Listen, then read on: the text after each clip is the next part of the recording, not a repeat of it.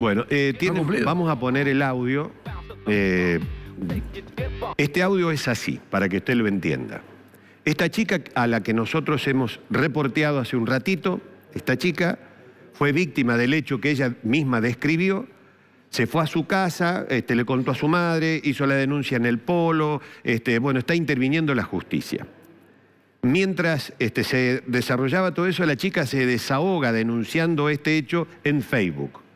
Ni bien publica en Facebook, alguien que ve esa publicación se siente identificada porque a ella le pasó lo mismo. Entonces se ponen en contacto y le manda un audio que le habría mandado este supuesto masajista a ella frente a una situación igual.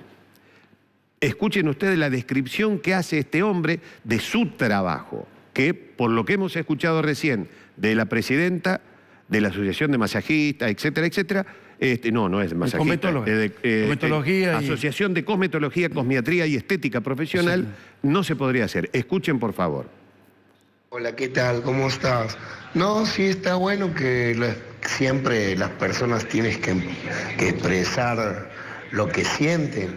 Y bueno, si vos te sentiste en ese momento incómoda, me debiste decirlo, ¿no? Mira, ¿sabes qué? No, yo ahí no, eh, me voy a bajar nada, eh, tapame, porque yo te tapé. Eh, te, hice todo lo que es el masaje, todo lo que es de ovarios. Eh, nunca, jamás te pasé el dedo, o te hice, eh, ¿cómo se dice eso? Eh, sexo tántrico. Eso ya es otro masaje. Masaje tántrico y masaje sedativo ya es otra cosa, ¿me entiendes? Es tocarte, tocarte, tocarte tu parte íntima hasta que vos tengas, eh, ¿cómo se llama? Orgasmo. Pero no, eso no fue así. Fue solamente eh, masaje, todo lo que es la parte de los ovarios para que vos podás orinar mejor, te hice drenaje en las piernas, te hice drenaje en los Bueno, esto es lo que senos, hemos en el escuchado, pecho, es lo que hemos eh, escuchado antes. Bueno, es todo muy raro. Sí, muy raro. ¿verdad? Una descripción muy rara de la intervención profesional. Él responde a una pregunta que le hace su paciente, le dice, che, pero ¿qué me hiciste? Llegué a mi casa, me siento mal, ¿qué me hiciste? Entonces le manda ese mensaje a él y él le responde. No, que esté tranquila, que mira que me pasó esto, no te... Y te sentiste incómodo, me Sí, lo tenés que haber Claro, dicho. quiere decir que le pidió que se quite la ropa, porque si te hubiese sentido incómoda me hubieses dicho que no te la quite. Ah. Y eso no es una práctica que Y corresponde. no te dice sexo tántrico, le Sí, dije. ta- no fue sexo, sexo claro. tántrico. ¿verdad? Bueno, eh, la, la verdad que describe un poco la situación, este audio, de, lo, de la forma que trabaja este muchacho. Ahora, Por lo que sabemos, antirreglamentario. el- Sí, sí, totalmente. un audio tiene una voz y el otro Sí. otra. sí, eh, Acá se nota que es extranjero. personas. se nota que es extranjero. Es extranjero. Bueno, bueno, escuchen este otro audio que nos envía una persona que es profesional del rubro. Mire.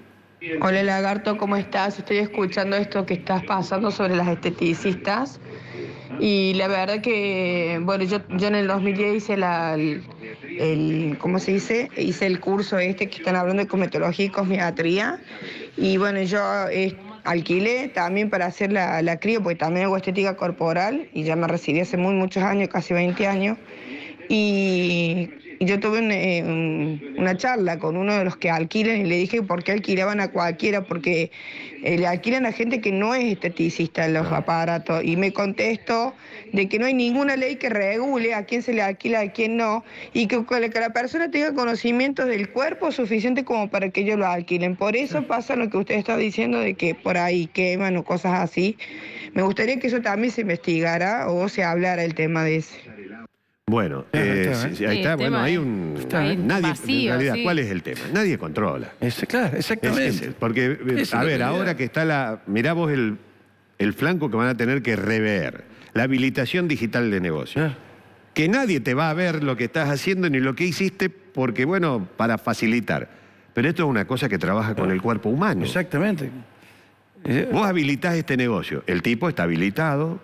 Puede trabajar, hacer lo que quiera, y hasta que va la municipalidad a controlar, a ver si el tipo puede trabajar, ¿eh? pasaron... Ya hizo desastre. Claro, pasaron tres meses, cuatro meses, cinco Es una meses. actividad complementaria. Cuento esto no es que esté pasando todos los días, sino que por ahí aparecen los grises o los huecos o los flancos que tienen las normas. Una actividad complementaria de, si se quiere, la salud, de la medicina. Claro, claro, Absolutamente obviamente. complementaria, que esto tiene que estar regulado y totalmente controlado, no sé si por el municipio, por Sí, el, Ministerio de la- Salud. Por lo menos habilita Claro, el negocio. claro, y para habilitar supuesto. un negocio vinculado a la salud, tiene que haber un, pro- un profesional. Y sí. Acreditado. o- Una supervisión o supervisación del Ministerio de Salud. Exactamente. De alguna persona que conozca, como es, como lo decía recién Laura, digamos, cuáles son la- las formas. Las formas. ¿eh? Cómo, cómo- cómo es la modalidad para poder trabajar con una persona que quiere hacerse un tratamiento.